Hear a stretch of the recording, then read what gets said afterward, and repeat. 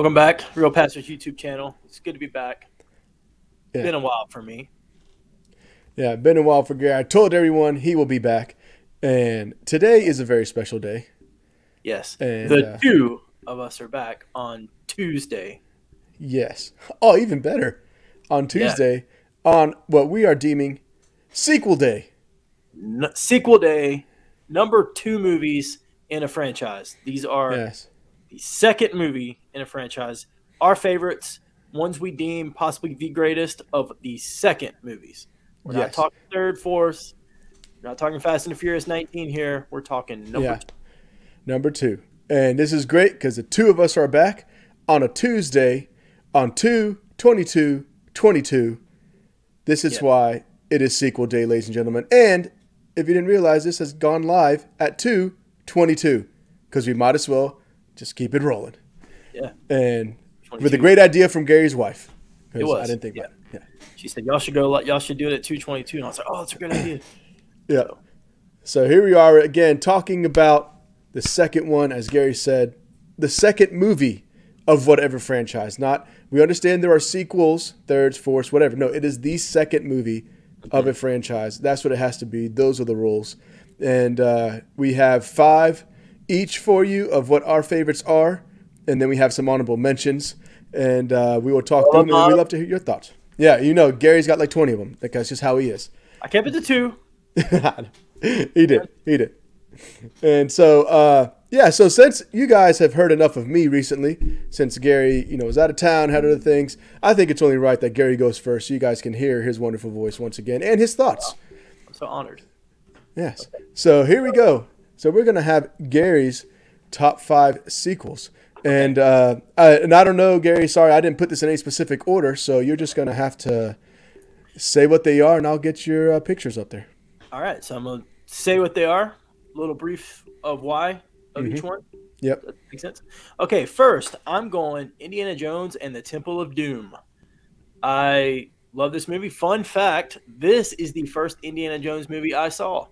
Oh. I bought it at a flea market on VHS and put it in there, and uh, it terrified me as a kid, freaked me out, but I loved it. Um, Mhm. People have a love hate relationship with this movie. Um, I really much enjoy it, and uh, Indy on the bridge with the sword, you Mhm. know, uh, great. I had to put it on this list: Indiana Jones and the Temple of Doom. Is it a pre- is It's kind of a prequel because it does take place before Raiders of the Lost Ark, but it is the second. So Indiana, Mhm. Jo- Indiana Jones and the Temple of Doom. Uh, second or next, fourth, I don't know. I have what I had to put on this list, or my younger brother would have some words for me next time I saw him, and that is The Godfather Part Two. How do you follow up an epic masterpiece of a movie?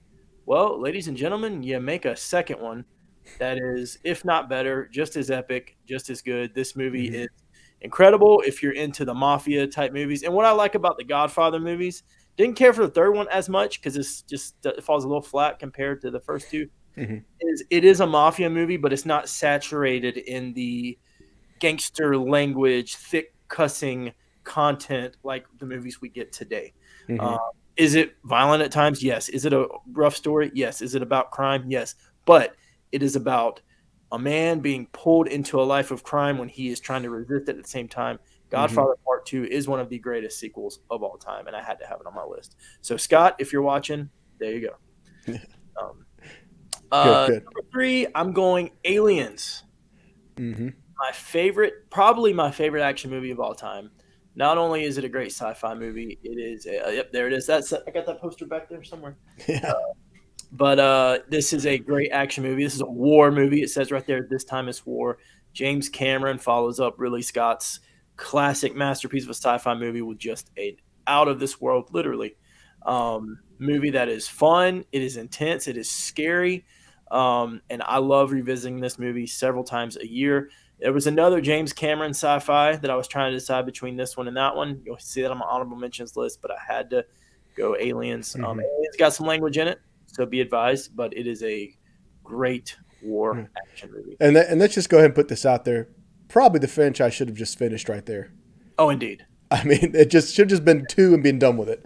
You don't come at me with Alien Three. That trash. no, trash or Alien Resurrection, or yeah, yeah, yeah, yeah. Aliens. Boom. Leave it at that. Love Leave that at that. movie. I might even watch it tonight. Such Yeah. a great movie. Um, and number two, uh, I'm going Star Wars: The Empire Strikes Back. Mhm. Um, some might say, well, isn't that actually episode blah blah? Well, this is the second movie, No. second Star Wars movie we got. Um, the Empire Strikes Back is this is where, and I understand people wanting A New Hope to be their favorite. I know you're a Return of the Jedi guy, and I Mhm. respect that. But this is where Star Wars goes from we're just not, we're not just a little space opera, nice fun movie. This is where it's like, all right, we are a franchise.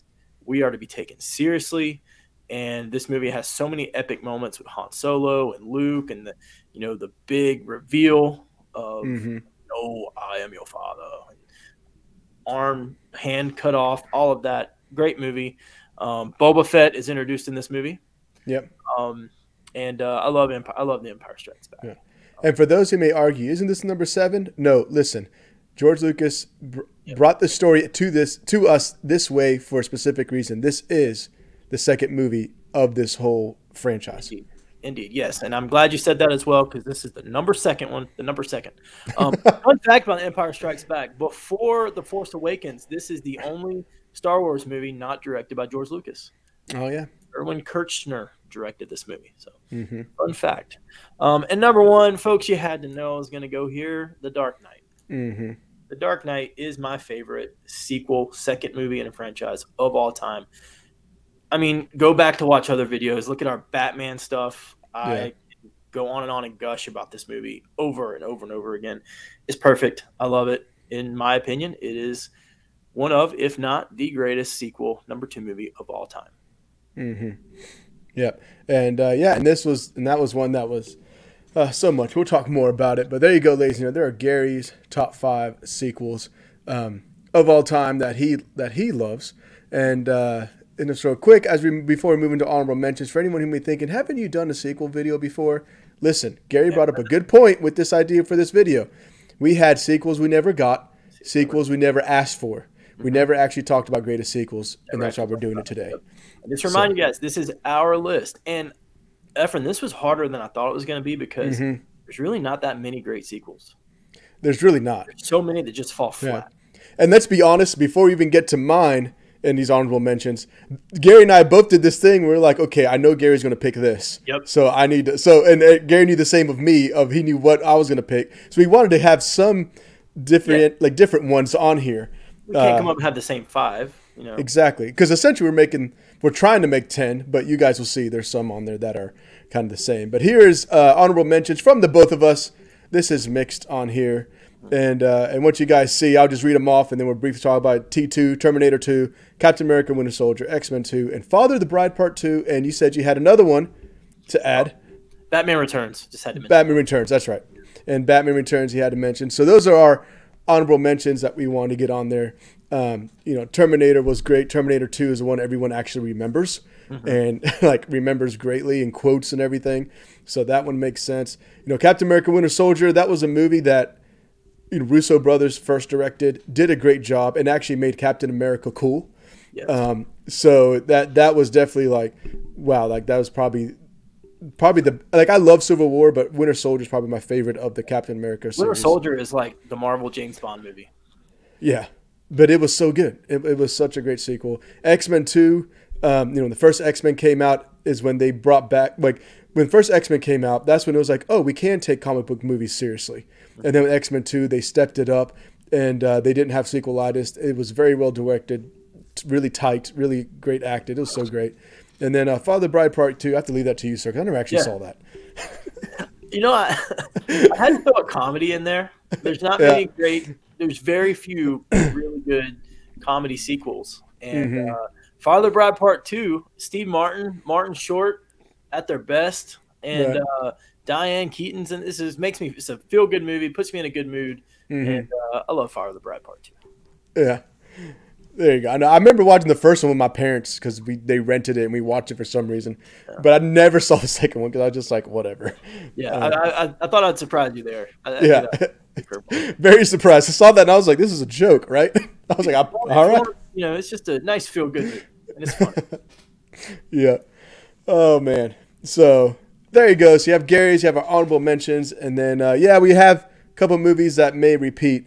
Um, so you know, I didn't put these down in any order, um, mainly because I was just like, I just love all these, and um, so I will I will actually go ahead and get the ones that we have the same out of the way. Which the first one being, and again, this isn't in order. I'm just saying what they are. Um, but you know, Dark Knight was I've had that one on there for me as well. Highly anticipated movie. Uh, definitely stepped things up, took it to a new level, and honestly, the best of the trilogy, anyways. Yeah. Um, so that even shows you how awesome this is. Like you said, go back to our Batman videos. You see how much we talk about this. So yes, the Dark Knight has to be in there.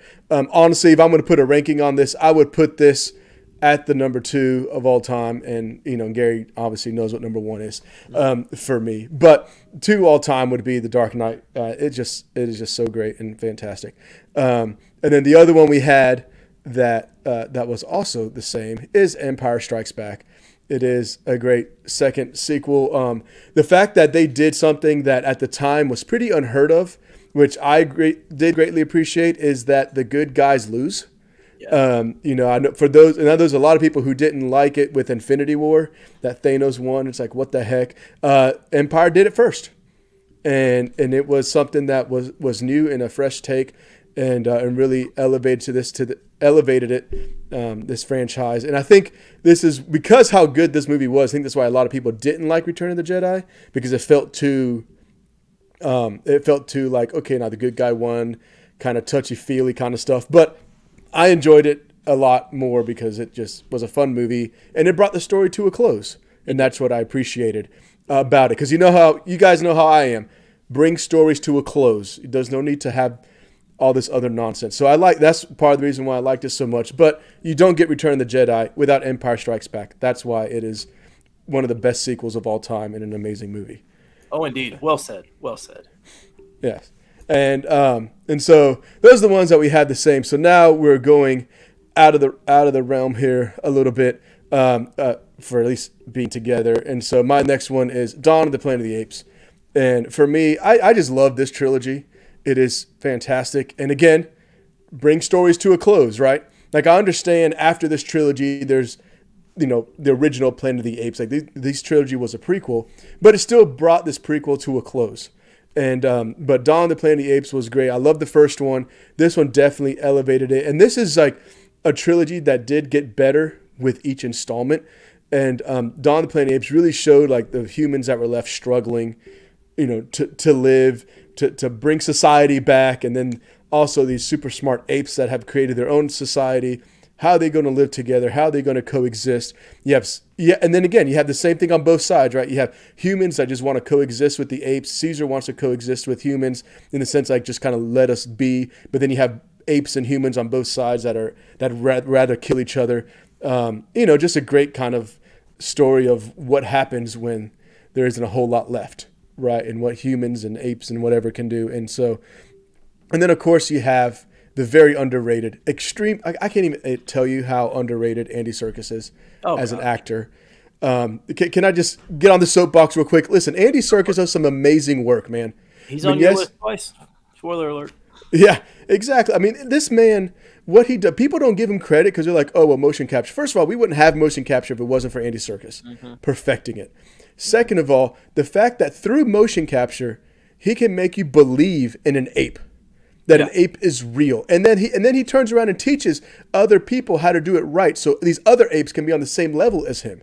Andy Serkis do, a wonderful performance. He, the man needs to win awards and he gets no respect. I will continue to praise that man's acting abilities and what he has done for the film industry.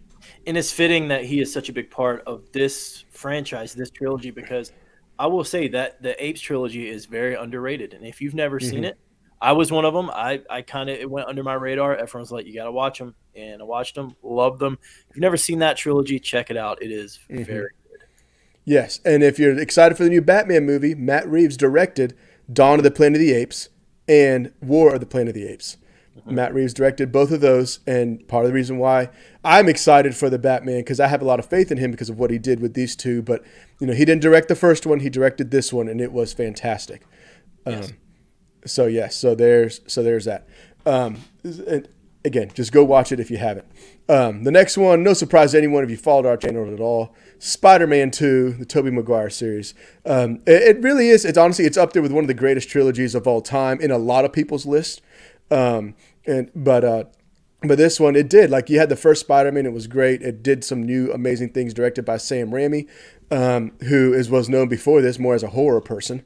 Yeah. But you do see a lot of those horror elements in this when he what things he does with Doc Ock, especially in the hospital room, um, and just he just really pulls into the, what makes Spider-Man so great, Gary. And I think a lot of people might forget this is that is that it is really more a Peter Parker story trying to figure out how to be a good Spider-Man mm. and him struggling with that. And this movie really deals with that really well of how much he is struggling, you know, not only to live his life, to go to college, to just to, just to be Peter Parker, but his you know, his love interest with Mary Jane and how is that going?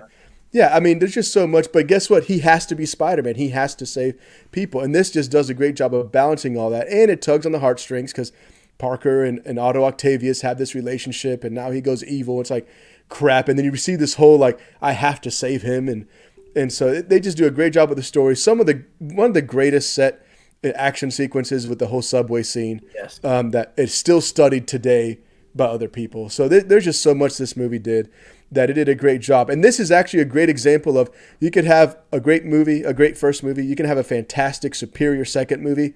And if you don't do things right, your third movie can fall off. And this is where a lot of franchises fail. And unfortunately, this franchise does the same thing, but the second one was great. And uh, and we can just pretend the third one didn't exist, but that's okay. But if you watch No Way Home, you have to accept it, but whatever. Um, yeah. So you have Spider Man 2. And then lastly on my list is, um, oh, oh, oh no, where'd he go? Oh, here we go. Is probably my favorite trilogy of all time. But the second one, The Lord of the Rings, The Two Towers. Yeah. And this is where, again, Andy Serkis makes an appearance. Got him. Got him. And uh, you do get to see that character come alive more in this and this one. Um, the Two Towers. It is. Eh, listen, what Peter Jackson did with this franchise in general was great, and it was very, very easy for him to just get worse as this went on. Um, but he did it, and he was able to take this like because I didn't read the books. All right, so Lord of the Rings fans can be mad at me. I didn't read the books, but I watched these movies. I absolutely love these movies. To me, this is the greatest trilogy of all time. That to me it is because with each for me, I think we talked about this before, Gary. For me to say that, it's like you have to have a great first movie, a better second movie, and an even better third movie that closes the whole story out. Um, and it's and that's why there's a lot of there's just a lot that can't do that. Um, but this one just adds on to the story, gives you more character development, gives you an awesome action sequence at the end, really dives in um, again to the story. And they just did a great job with this and everything the way it looks. It still holds up today. Oh, gosh. Yeah. I just rewatched it last week. Yeah. I mean, this is so that's why for me, I love this movie. This is on there. This is one I remember. It was funny is I remember watching the first one in the theater, and then I'm being like, okay, that was good. I liked it. But you know, I just it was like okay, it was that kind of fantasy. I didn't really like get into it as much. And then a friend of mine, let's go watch this. I'm like, uh, I don't know, because at the time, you know, I was like maybe 15 or something, and all I cared about was like I want to see cool action. Mm-hmm. And my friend was like, dude, there's a lot of action. This I went and saw this and was blown away by the whole movie. And so it's like I like the. And then when I went back and watched the first one, I appreciate the first one a lot more because of this one, which is mm-hmm. why I, I think this is a great sequel as well. Like if it makes you go back and appreciate the first one even more, yeah. you did your job as a sequel, yeah. as well.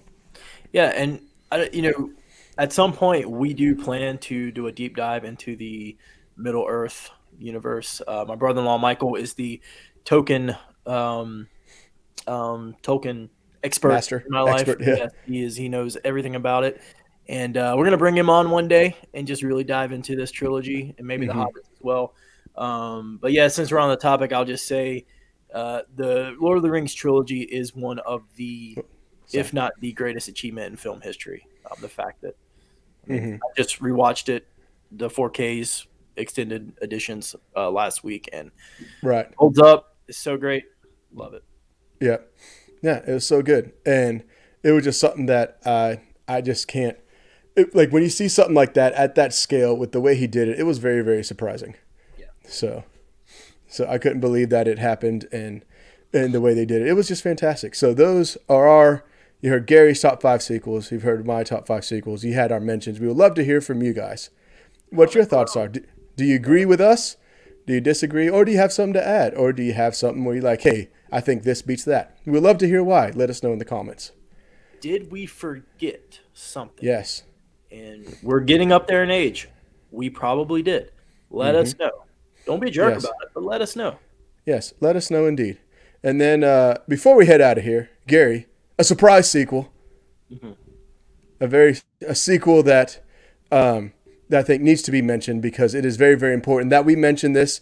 People cannot forget about one of the greatest sequels ever created, and that is the Cool Ranch Doritos, sir. Yes, you had nacho cheese. I know you're a nacho cheese guy, but Cool Ranch stepped in, made it better. A sequel for the ages on the same par as Empire Strikes Back. Ladies and gentlemen, Doritos Cool Ranch, one of the greatest sequels of all time. I mean, we might as well start talking about Caddyshack Part Two. Um, if No, sir. I mean, No, sir. I mean, it's Dark right. Knight. not the original. Dark Knight. You Listen, Empire Strikes Back. Two Towers. That is what Cool Ranch is to chips. That is what Cool Ranch is to nacho cheese. Uh, Boom. yeah, it's it's it's uh, it's Batman Returns, if anything, not the original. No, Pretty pretty good. No, no. It it it it it just added more. I ate Oh, the it spicy just added more. the other day, and I'm still trying to recover from it. Oh well, you ate spicy. That's your problem. You They should were- have done that. They were no need to eat the spicy. man, holy cow, they were Yeah. lit me up. But anyway, So if you guys understand, Gary and I have a little thing going back and forth, a little a little uh, rivalry between nacho cheese and Cool Ranch. Had to throw it in there for Gary on sequel day. the original is the best, and Taco Bell agrees with me. So So the expert. Cool Ranch is back. By the Is way, it really? yes, limited time, but it's Oh, back. okay.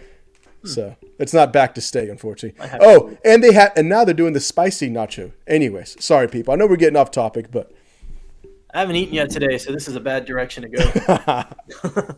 so yeah, happy sequel day, everybody. Go Yeah. watch some movies if you have a chance. Yes. Thank you so much for watching. Subscribe if you haven't yet so you don't miss out on any new content. We try to review new stuff, new trailers, all these different kind of things. And of course, great episodes like this one for sequel day. It's fun. Yes, we have a lot of fun here. Thank you guys for joining us. See ya. We will catch